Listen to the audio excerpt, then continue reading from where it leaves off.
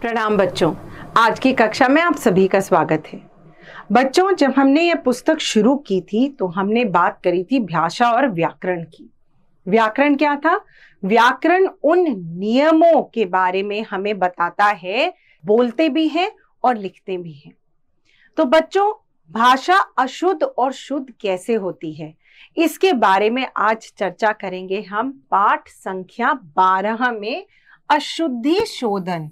Correction of common errors सामान्य रूप में हम कहाँ पे त्रुटियाँ करते हैं? मात्रा गलत लगा देते हैं। छोटी की जगह, बड़ी बड़ी की जगह छोटी लगा देते हैं। आधे शब्द लिखने होते हैं तो हम पूरे शब्द लिख देते हैं। या फिर हम समझ के लिखने में गड़बड़ी कर देते हैं। अब एक उदाहरण देती हूँ, आपको बहुत मज़ेदार। यदि हमने लिखा, खाली जगह भरो यदि गलती से किसी बच्चे ने यह वाक्य में भ को पूरे ऊपर उसके ऊपर पूरी रेखा खींच दी तो क्या बन गया? तो इसलिए बच्चों, बहुत आवश्यक है कि हम लिखते समय ध्यान दें कि हम कहाँ त्रुटियाँ कर रहे हैं। इस पाठ के अंदर हम आपको दो तरह की त्रुटियों के बारे में बताएँगे। शब्दों की त्रुटियाँ और वाक्य की त्रुटियाँ। आइए सबसे पहले देखते हैं शब्दों को। किस प्रकार हम अशुद्ध लिखते हैं और किस प्रकार हमें शुद्ध लिखना चाहिए? अशुद्ध, शुद्ध। हिंदू हिंदू। बिंदु बिंदु। प्रभु प्रभु। कृपा कृपा। तिथि तिथि। क्योंकि क्योंकि। वायु वायु। शक्ति शक्ति। बीमारी बीमारी। शून्य शून्य। पति पति। पत्नी पत्नी। चिन्ह चिन्ह। परीक्षा परीक्षा। रामायण रामायण।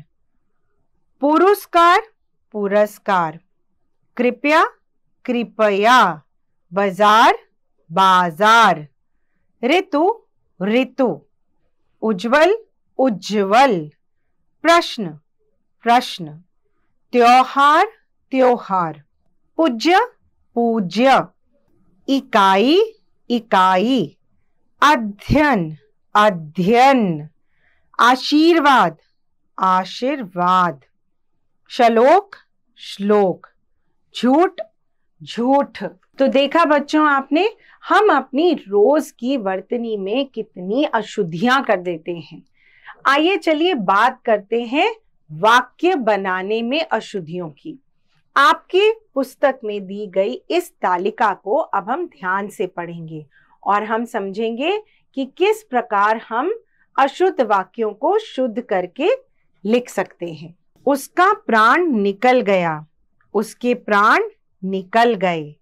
मैंने एक गाना गाना है। मुझे एक गीत गाना है। लड़कियाँ छत में खेल रही हैं।